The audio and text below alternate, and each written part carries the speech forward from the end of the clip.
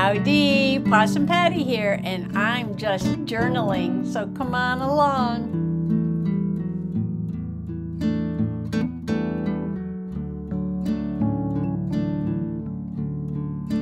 Okay, first of all, in my Wonders of Nature Little Golden Book Nature Journal, if you're following along, you know, yesterday I made this really fun magnetic page because I had gotten all these magnets at the flea market a few weeks ago.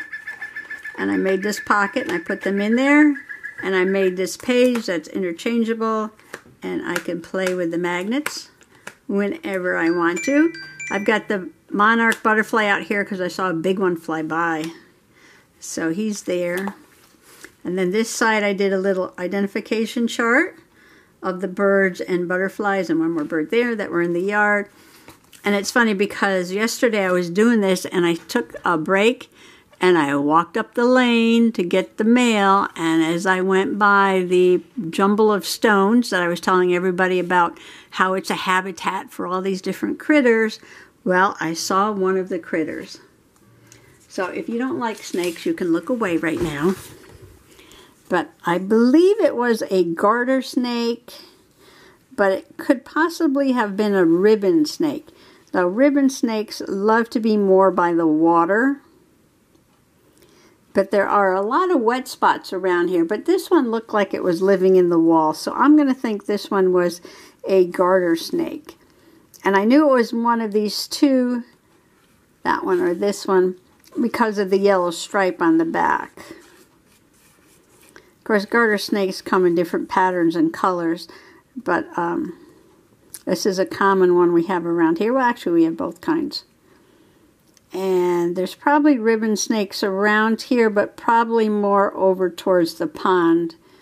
Where my land is like swampy, um, wetland. Wetlands means part of the year it's a little drier, part of the year it's a little wetter.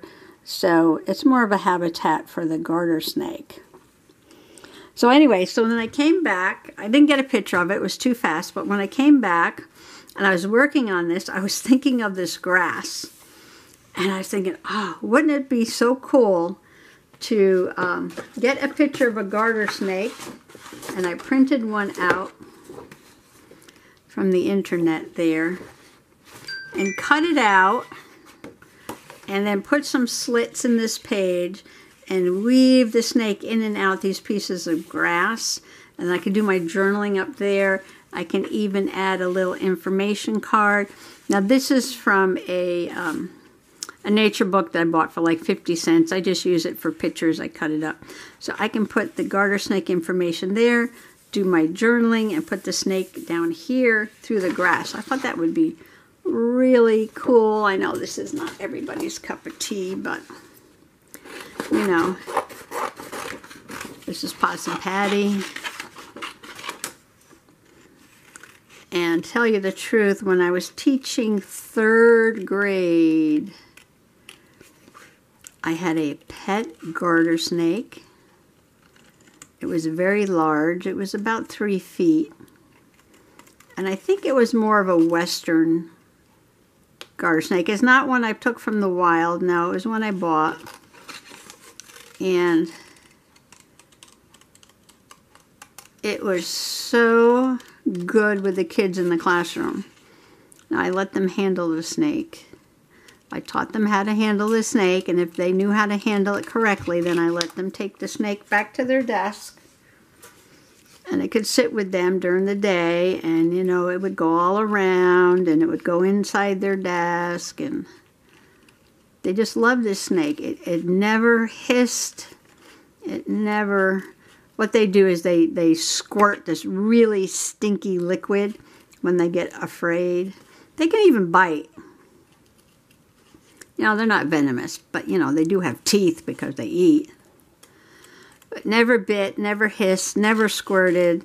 Um, as long as the kids handled it correctly, and I gave everybody a lesson on snake handling, um, you know, it was good. They loved it. All the kids loved it. And then one day, You know, it's always the parents, it's always the adults, never third graders. I love third graders. They can just get used to anything. They, you can teach them anything. They're excited about life. They're um, so wonderful to work with. They really listen and behave. Especially when you do fun things with them. And um, yeah, so one day this father came into the classroom. And it just so happened that his daughter, it was his daughter's turn, to hold the snake. Well, doesn't she run up to her father? She's got the snake in her hands and she runs up to her father and says, Daddy, Daddy, look. Oh, the kids named the snake Yellow Ray because of the yellow stripe down the back. Daddy, Daddy, look, Yellow Ray. And she hands the snake to her father. Well, I think it kind of scared him a little bit, maybe. And he grabs the snake, like if this is a snake's head, he grabs the snake by the back of the head like this. I mean, like really, really tight. And you could see the snake's mouth go like, ah! And it just went, just squirted this really stinky, smelly liquid. It's a defense mechanism all over the father. Yep, all over the father. I couldn't believe it. Well, I could believe it because he didn't know how to handle the snake.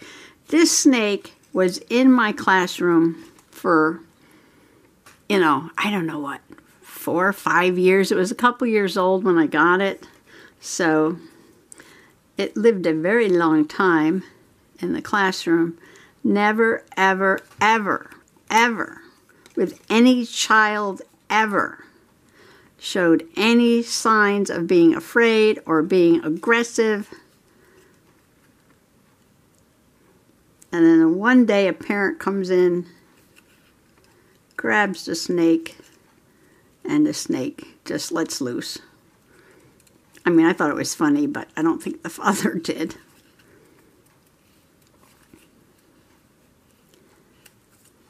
I did have a problem with one other set of parents. Well, I mean, I didn't have a problem. They had a problem because I think they were from India. And I guess they were from a region where the snakes are poisonous, probably cobras or something. And uh, the snake made him very nervous. So I had to take it out of the room when they came, but that's okay. Not everybody has to love a snake. And not everybody.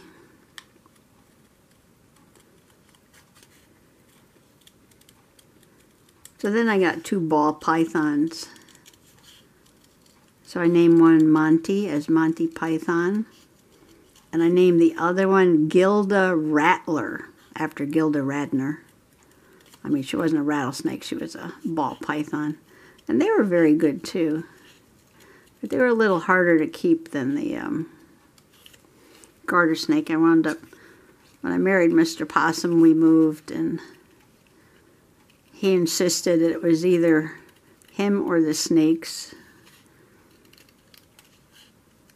Because he doesn't like snakes the way I do.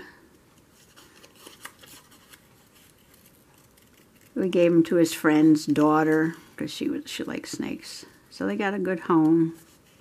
But yet he knows I like snakes, so if there's a snake out on the stone wall or something, he'll he'll point it out. So oh, look, there's a snake over there. And he stays away and I run over and I look at it. So on our jumble of stones. I guess it's supposed to be a stone wall, but it's not really. Just a pile of stones. Um, we've seen the ringneck ringneck snake and the garter snake. Not a giant garter snake, smaller garter snake. And I'm going to try and cut this with a knife. Okay, here comes the tricky part. It doesn't matter because this page is white, so I'll be covering that page with something anyway. So it doesn't matter what it looks like on the back.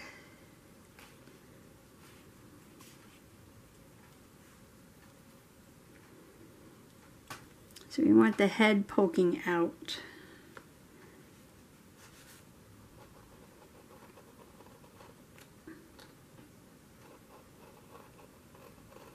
Oops. It didn't go through, did it? This is a Dollar Tree knife. I don't know exactly how sharp it is.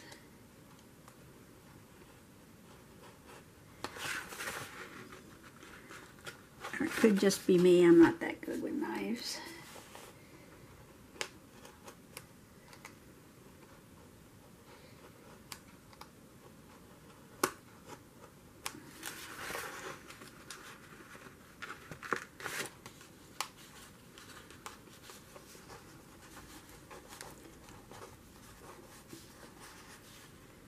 Okay, we got the head there. And let's see.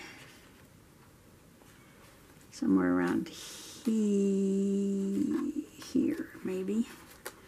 Somewhere around here.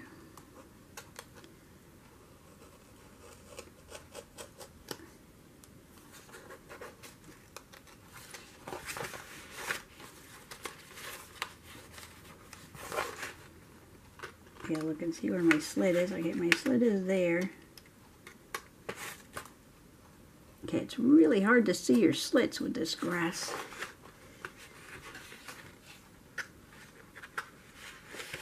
I think I made one. I think I made one. This video is not for unsupervised children. Sharp, dangerous tools are being used. Um, um, oh, okay, we'll just pick that up. That's fine. Because then we can glue it down.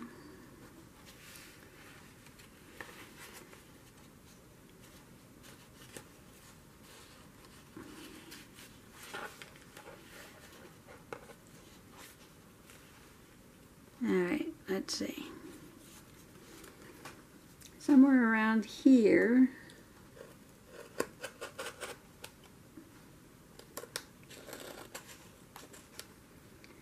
and let's make this a wide space. So this one will go in.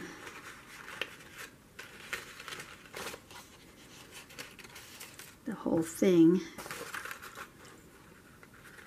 I'll worry about how I'm going to glue it when I'm done.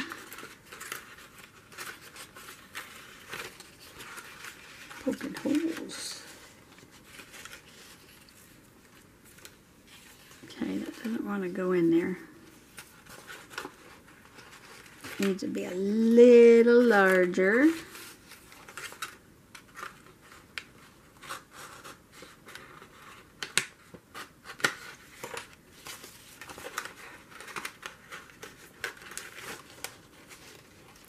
Okay, I'll make this a separate video all by itself because I know a lot of people can't watch anything with a snake.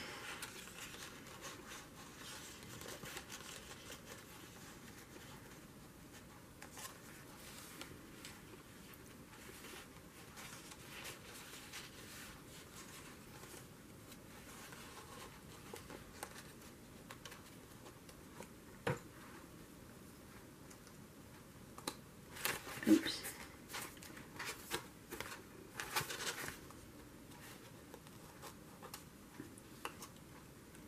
Cut away. What I'm trying to do here is not ruin it like I just did. There we go.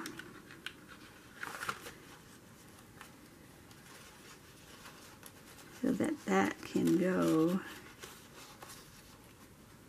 there.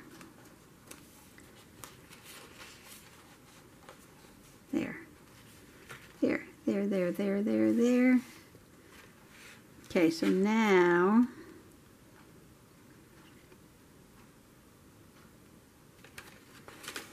I I can make a big slice here. Okay, which way would that go?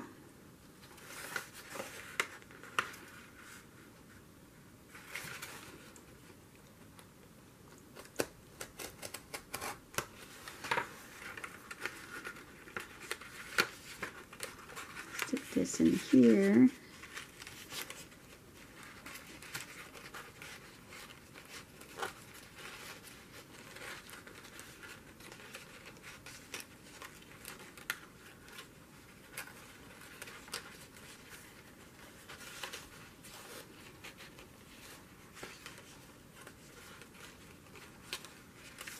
Think this needs to either go up higher or down down lower.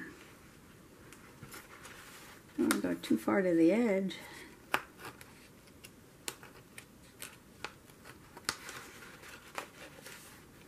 Alright, do I have any more snake stories? Because it's going to take me a while. Oh, when I was four years old, we lived on a farm in North Salem, Connecticut. And my mother's father lived with us. And he was working the garden. Because that's what he liked to do.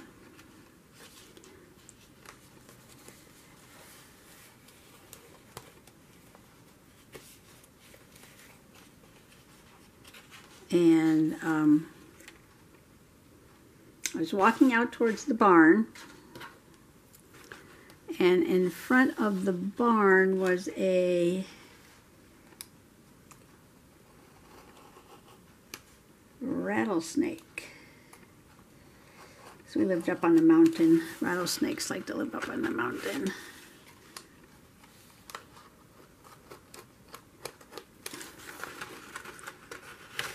and Grandpa grabbed a pitchfork and stabbed a sucker before he could get me.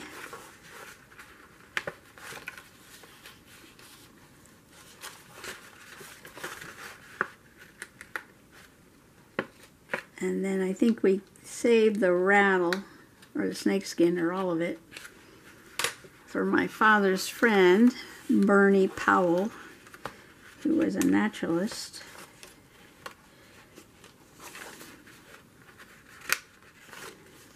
And Bernie is the man who wrote the book about my grandpa.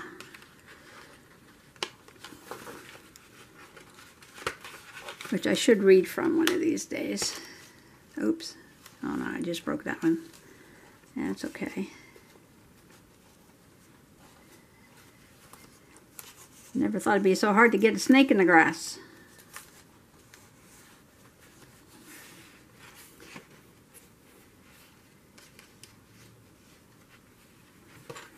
Okay, I've got,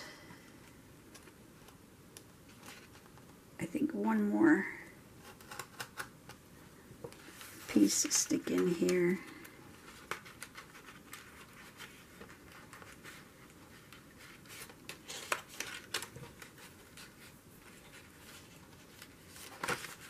Where did I just put that?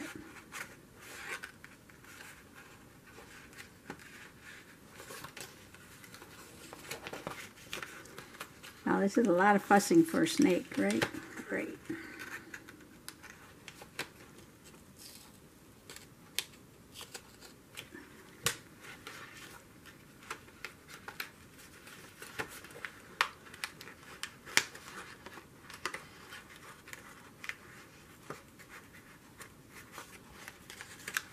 There we go. Oh, I broke that one too. I am not doing well with this paper.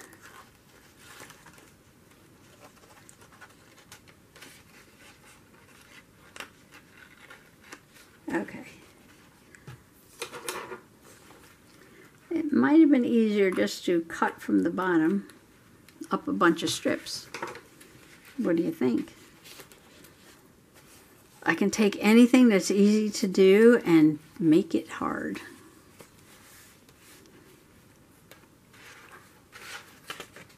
I think that is enough.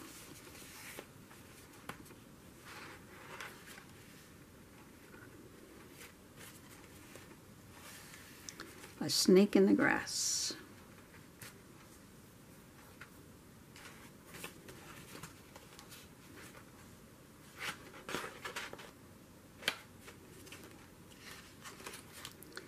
I could slit this down. Oh, that looks like it's going to rip though.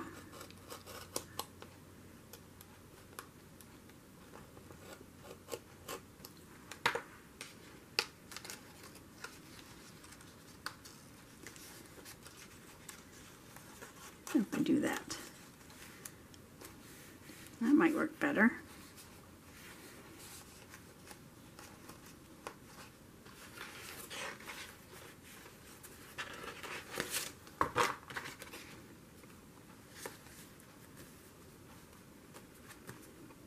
I think that's enough. You know what I think I'm going to have to do is get a piece of paper for this side and then cover this with glue and put a piece of paper on there. So stand by. Okay, this is another one of my new Michaels 9.99 clearance 60% off packs.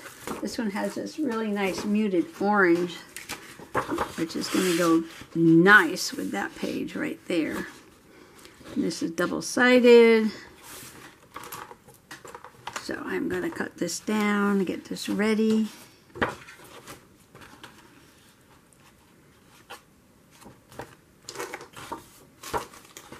Okay, one more snake story.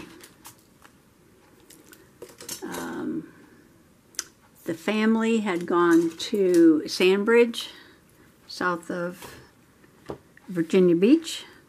We have family down there. And we went visiting. And we rented a house on the beach. It was very nice. But then we decided we'd go to the park, which was down the end of the little peninsula there. And there was a boardwalk, like a nature walk. And big giant sign that said, beware of water moccasins. Now, we don't have water moccasins in Connecticut. Uh, the water's too cold up here. We have black snakes and we have water snakes. Water snakes are nasty, but they're not poisonous. They're not as nasty as water moccasins. But they will bite. And um, so we decided that, oh, it's um, Mr. Possum, me, my sister, and her husband. So we decided we'd hike down there anyway. So it's kind of a one way in, one way out deal. Look how nice that goes with that paper. I think this paper from Heather C. And if that's a little too big, that doesn't matter. So I think first I'm going to glue down a couple pieces on this side before I glue everything down on that side. So we hiked all the way to the end and there was observation port there and you get to see out over the, the marshy land there and there's a lot of habitat for a lot of birds and stuff. So we hung out there for a little while and then we decided we would head back. So we started walking towards where the trail was from the observation. Oops observation deck and wasn't there a giant, huge, humongous black water moccasin snake sunning itself across the trail. I mean, all across the trail. And there was only one way in, one way out. So I'm like, eh, what are we going to do here? So you can't yell because, you know, they don't really hear you. They feel the vibrations and stuff. And uh, threw a couple sticks its way, not at it, but close by, you know, just to see if it would move, react. No, it's sunning itself. It's not going to move. Not going to move at all. So, you know, Possum Patty, being the master naturalist, has to come up with a solution on what are we going to do here. So I know the snakes react to more vibrations than noise. So it was my idea. I said, let's pretend we are something very large coming down the trail. Because if it feels like something very large is coming down the trail, it's probably going to move away because it's not going to want to get stepped on. So what we did was the four of us together, sort of like in a row, one, two, three, four, holding on to each other, we stepped in time, all four of us, so it was like eight legs. So we step four, boom. Then we step four, boom. We step four, boom. We step four, boom. And we we hit the the um, boardwalk as hard as we could with our feet. Cause as much vibration as we could. And sure enough, it moved off the trail. Possum Patty saves the day. Of course, Mr. Possum's like, we're never going down there again. But stuff like that doesn't bother me. Everybody was safe. We got out safely. Snake's not hurt. People are not hurt. Everybody's happy. Everybody's happy. No problem, no problem.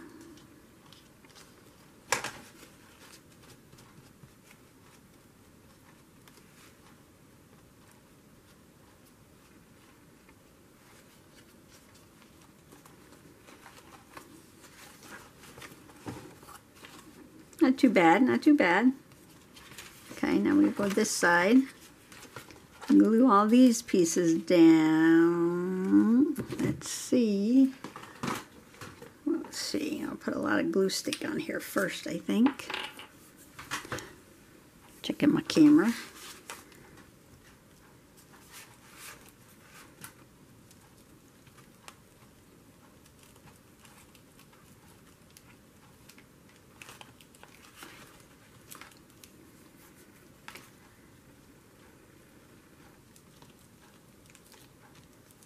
So do you have any snake stories that you would like to share? I know there's a few people who are nature lovers that watch the videos, especially the nature ones.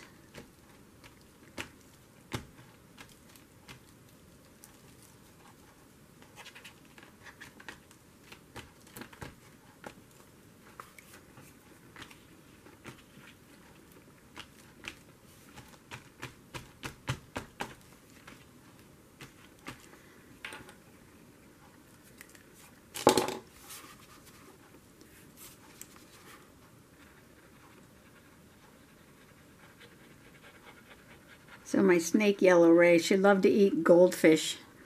To go to the pet store and buy the, they're called feeder fish. They're little tiny fish, 10 cents each. And then I had a dog water bowl in her tank. And I plopped the fish down into the water bowl and she liked to get in there and swim around and catch them.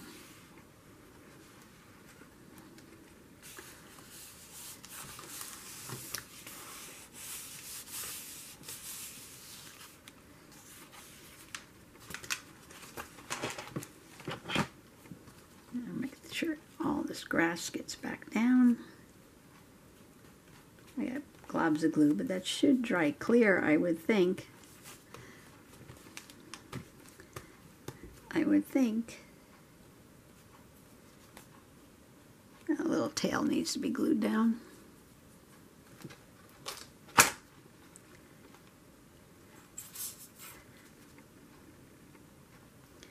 Although sometimes I thought it'd be a big shot. Feed her by hand. She would take food right from my hand. I call her she because I believe the female garter snakes are larger than the males. And she was pretty big, let me tell you. One day I was feeding her by hand. she latched onto my hand. She didn't mean to bite me. She was just going after the goldfish. That was my fault, not the snakes.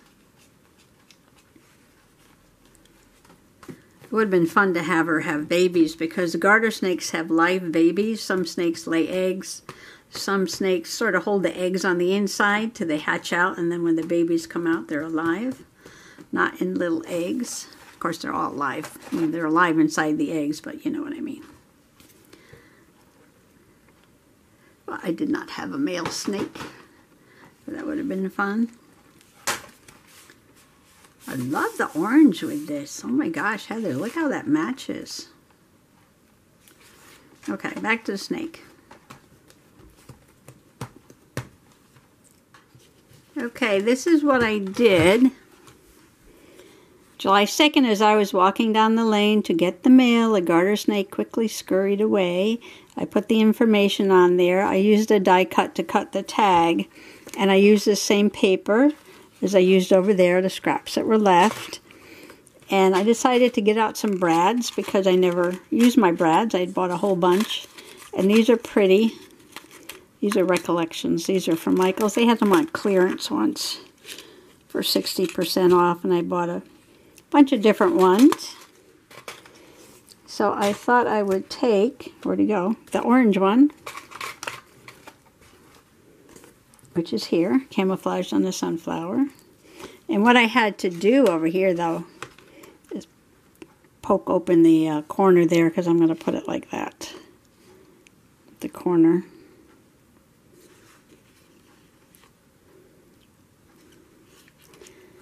And let's see, what do I need to do? I need to poke a hole in my pokey tool where I'm going to put this. I'm going to try and get it inside there. And this is a shorter page so the tag can stick out. So I can put it like somewhere around there. but I'm also going to glue it so that it doesn't move around.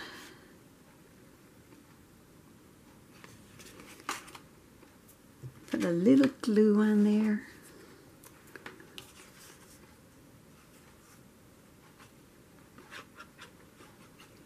I did distress the edges and I went around the page a little bit with the vintage photo. I keep losing that thing. All right, there it is. Okay, that's got to go right where that hole is. And I put too much glue as always. I never think about where the paper's not going to be. Okay, so now I'm going to bend this back. Yeah, so I buy things and then I don't use them. Also because I'm not used to having things. and then I buy them and I forget I have them. I gotta wipe away some of that glue. It should dry invisible, right? Should dry so we don't have to worry about it.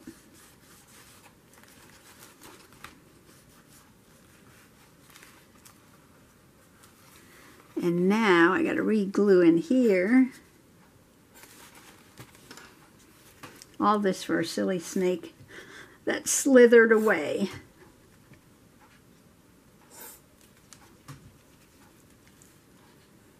Well, at least I got to tell my snake stories. A few of them anyway. Come on. There we go. Move this back. Together. Make sure that's standing on its head. All right.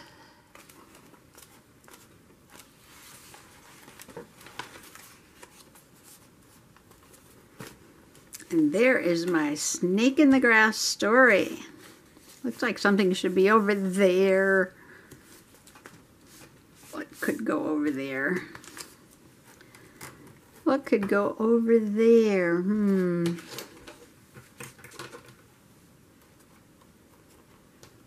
It's a little butterfly or something maybe. A little tiny, needs a little tiny something right there. Okay, I pulled these out from the Tim Holtz Field Notes collection set. And I just thought the colors went well on this page. I put reminds me of my third grade classroom snake, Yellow Ray. And I took out this little butterfly, which I think the colors all work well together. And I'm just going to fill that space because goodness me, you know, we can't have any empty spaces at all. Oops. Fill the space. You don't have to fill every space. But I see a space and I want to put something in there. Plus I wrote another sentence. So now I have two sentences on this page. That was my goal, right? My first goal was to write one sentence, and now my goal is to write two sentences.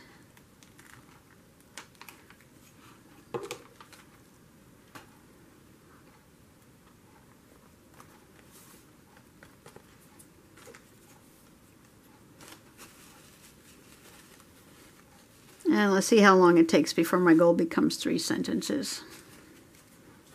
So that's it. So thank you for hanging in there, all you nature lovers that don't mind looking at a nature journal page that has a snake on it and listening to my slithery, snaky stories.